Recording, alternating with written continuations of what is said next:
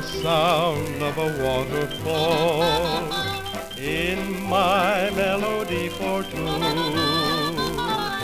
There's the note that a robin wrote, the silent tune of the moon, and there's the sweet refrain of an April rain.